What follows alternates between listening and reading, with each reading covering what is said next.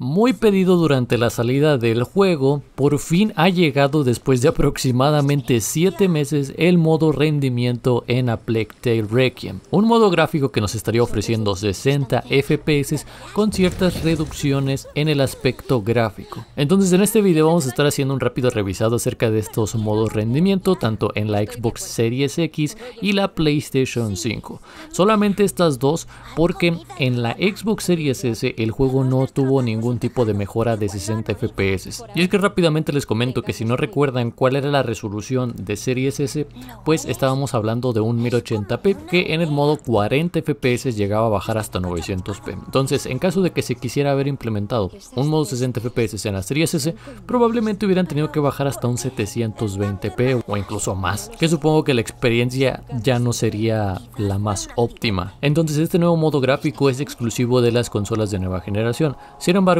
en PC también se hizo una mejora, no de 60 FPS porque obviamente ya existe pues más de 60 FPS incluso en PC, pero lo que se mejoró fue el uso del CPU para poder incrementar los FPS. En fin, regresando al tema de las consolas, de fondo podrán estar viendo una comparación al inicio del juego, y la verdad que los FPS son muy muy estables tanto en la Series X como en la PlayStation 5. Por lo menos en la prueba no parece haber una diferencia significativa de que alguna sea mucho más inestable. Sin embargo, eso sí, más adelante en el juego pues podrían existir algunas caídas que no sé qué tan drásticas puedan ser, pero existe la posibilidad que caso de que existan, pues probablemente sea en ciertos puntos en específico, porque por lo menos viendo el principio del juego parece que la mayor parte es bastante estable. Fuera de eso realmente el juego parece bastante bastante estable, en este caso con una resolución de 1080p.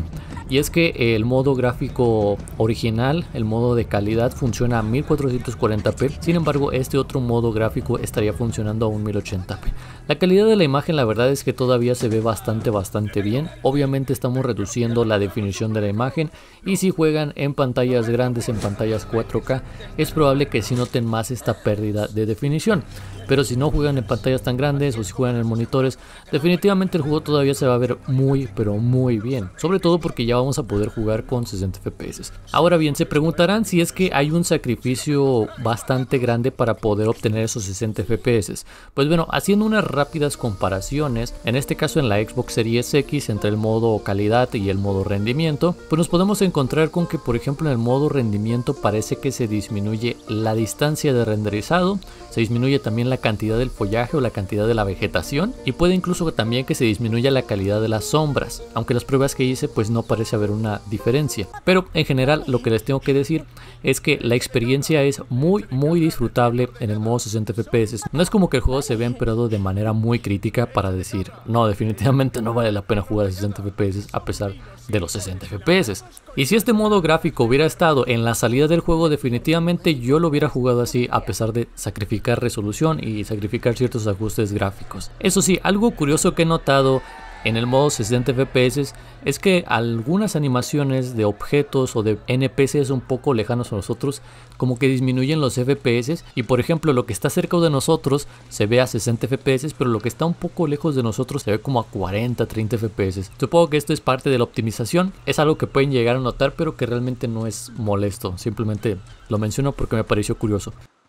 Justamente hablando de detalles curiosos, si cuentan con una pantalla compatible con 120 Hz o 120 FPS y activan esta característica ya sea tanto en la PlayStation 5 como en la Xbox Series X, van a poder jugar con los FPS desbloqueados por encima de 60, que en la prueba que pueden estar viendo de fondo más o menos ronda entre los 80-90 FPS. Sin embargo, si quieren probar el juego de esta forma, pues sería recomendable que activaran el BRR o FreeSync. Pero en fin, la verdad es que se agradece la implementación de este modo gráfico pero se hubiera agradecido mucho más que lo hubieran implementado con la salida del juego y no hasta 7 meses después que muchos de nosotros ya pasamos el juego. Eso sí, si a ustedes les gustó mucho, si les encantó el juego, probablemente sea interesante volver a rejugar el juego con este modo gráfico. O si es que todavía no le habían dado la oportunidad, pues este sería el mejor momento para poder disfrutar con una mejor fluidez de A Plague Requiem, ya que el juego todavía está disponible en el servicio de Xbox Game Pass. Que un consejo que les doy es justamente en las configuraciones de video, donde nos podemos encontrar los modos gráficos,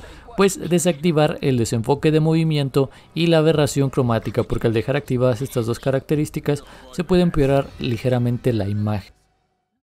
Ahora bien, definitivamente aquí nos encontramos con un gran problema, y es que cada vez son más las razones por las cuales no conviene comprar juegos de día 1, ya sea porque vienen con errores, por ejemplo, de bugs, errores de texturas, errores de rendimiento, falta de contenido, o como en este caso, que implementan contenido varios meses, muchos, varios meses después. Yo la verdad quisiera recomendarles que compraran los juegos de día 1, sobre todo para apoyar a las desarrolladoras, pero la verdad con estas últimas prácticas que hemos estado viendo en muchos juegos, no hay cómo defenderlos. Y en este caso específico para A Plague Tale Requiem, muchos podrán decir que el juego con 30 FPS está perfecto, y sí, el juego se puede jugar sin ningún problema a 30 FPS, pero de haber sabido que 7 meses después iban a implementar un modo 60 FPS, pues mejor me hubiera esperado hasta que sacaran este parche para poder disfrutarlo de esta forma. Que bueno, en mi caso yo lo pasé en su tiempo, pero con el modo de 40 FPS. Entonces ya por último me queda preguntarles cuál es su opinión, espero que me la puedan dejar en los comentarios